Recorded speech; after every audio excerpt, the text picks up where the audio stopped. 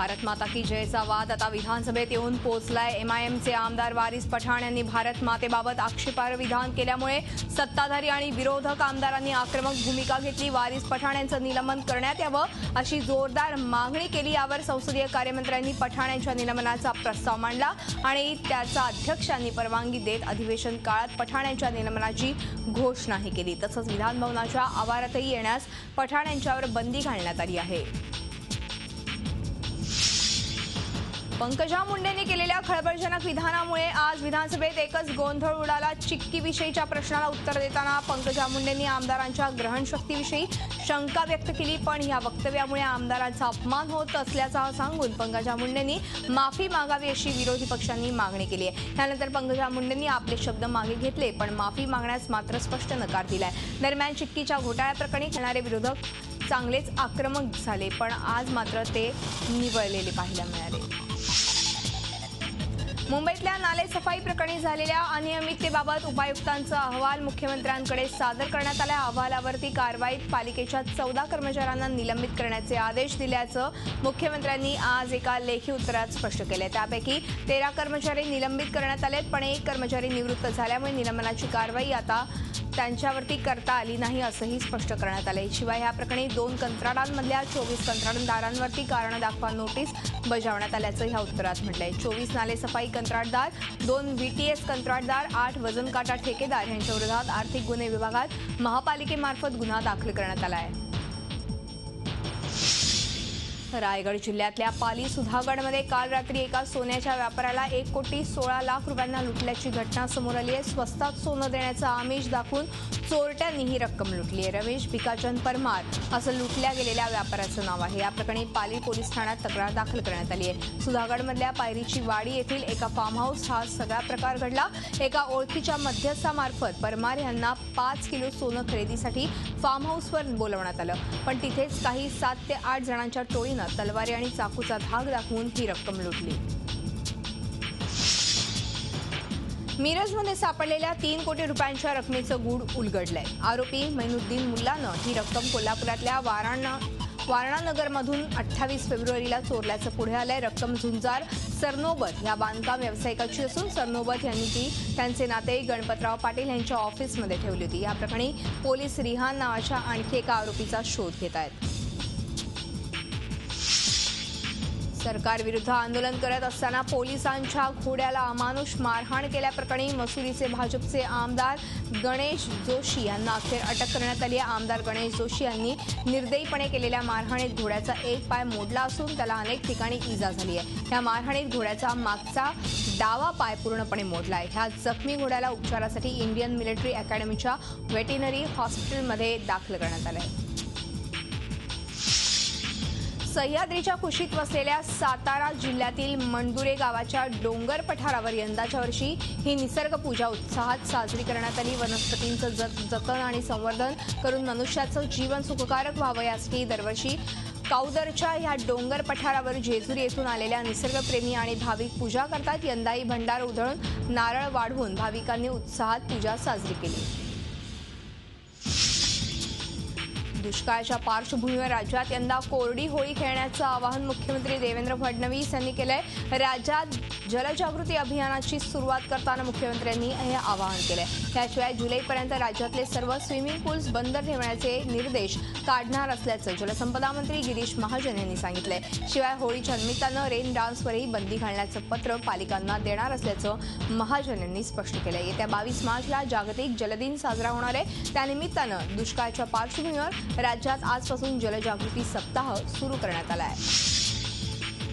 नागपूरजवळच्या इसासनी गावात सीवर टँक साफ करताना विषारी वायूनं चार सफाई कर्मचाऱ्यांचा मृत्यू झालाय. तर एक मजूर अत्यवस्थ आहे. कृष्ण विहारच्या फेज थ्रीमध्ये ही दुर्घटना घडली आहे. सीवर टँकच्या सफाईसाठी गेलेले सफाई कामगार एकानंतर एक बेशुद्ध झाले. बराच वेळ हे मजूर वर न आल्यामुळे लोकांना शंका वाटली आणि त्यांनी तातडीनं पोलीस आणि अग्निशमन दलाला बोलावून घेतलं. मात्र तोपर्यंत सुनील वाल्मिकी रिक्की वाल्मिकी सुमित चव्हाण आणि बाल्या मसादे या चौघांचा मृत्यू झाला तर प्रमोद चव्हाण हे अत्यवस्थ असून त्यांना लता मंगेशकर हॉस्पिटलमध्ये दाखल करण्यात आलं आहे असुविधांचा कळस म्हणजे हिंगोलीतलं सामान्य रुग्णालय. इथं उपचारांसाठी दाखल होणाऱ्या रुग्णांना अक्षरशः नरक यातनाच भोगाव्या लागतात. रुग्णालयातील सिटी स्कॅन सोनोग्राफी मशीन्स गेल्या अनेक महिन्यांपासून बंद पडल्यात. त्यामुळे रुग्णांना खासगी रुग्णालयात पाठवलं जातंय. वेळेवर डॉक्टर नसल्यानं रुग्णांना नांदेड आणि परभणीला जावं लागतंय.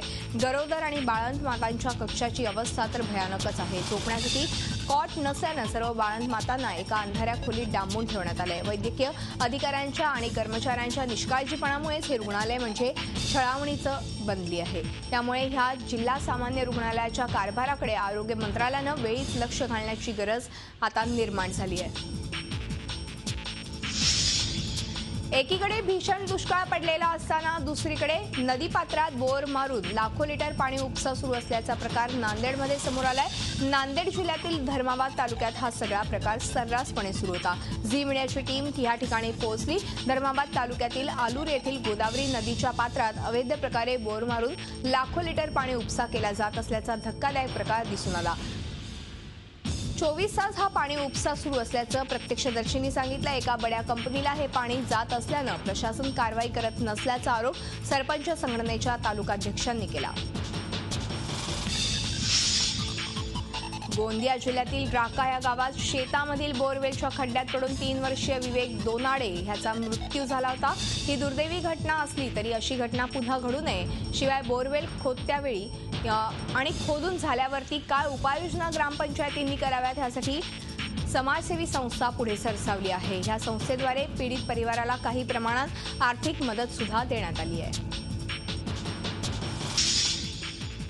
भारतरत्न डॉक्टर बाबासाहेब आंबेडकर यांचे विचार योग्य रीतीनं समाजात पोहोचवण्याचं काम बहुजन समाज पक्षाचे संस्थापक स्वर्गीय काशीराम यांनी केलं अशा बहुआयामी व्यक्तिमत्वाला केंद्र सरकारनं भारतरत्न पुरस्कार देऊन गौरवलं पाहिजे अशी मागणी दिल्लीचे मुख्यमंत्री अरविंद केजरीवाल यांनी केली आहे. केजरीवाल सध्या पंजाबच्या दौऱ्यावर आहेत. या दरम्यान त्यांनी काशीराम यांचे जन्मस्थान प्रिथीपूर येथे काशीराम यांच्या जयंती समारंभाच्या कार्यक्रमाला हजेरी लावली. त्यावेळी केजरीवाल यांनी ही मागणी केली.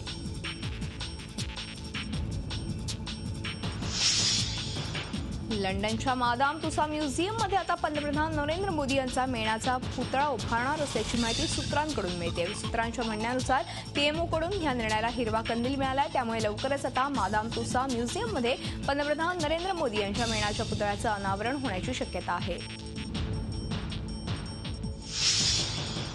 ऐंशीच्या दशकात बॉलिवूडचं फेवरेट शूटिंग डेस्टिनेशन असणारं श्रीनगरचं सुप्रसिद्ध ट्युलिप गार्डन पर्यटकांसाठी आता खुलं करण्यात आलंय. ऋतुचक्राचा फेरा काहीसा बदलल्यानं यंदा वेळेआधीच ट्युलिप गार्डन उघडण्यात आलंय. ट्युलिपची फुलं बघण्यासाठी कालपासून बाहेर आलेल्या पर्यटकांसोबतच स्थानिकांनी मोठी गर्दी केली होती.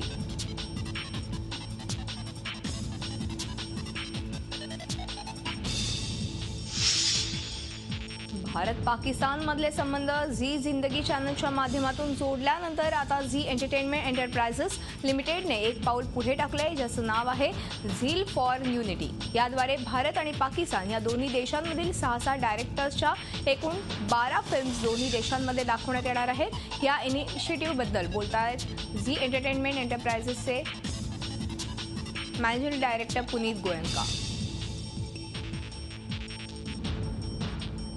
चार वर्ष लोटल्यावरही मूल होत नसल्यानं तसंच काही ना काही कारणांमुळे माहेरून पैसे आणावे लागत असल्यामुळे सासरच्या लोकांकडून सुरू असलेल्या जाचाला कंटाळून भारती सचिन बालगरे या विवाहितेनं आत्महत्या केल्याची घटना घडली आहे या संदर्भात लोणावळा शहर पोलीस स्थानकात गुन्हा देखील दाखल करण्यात आला आहे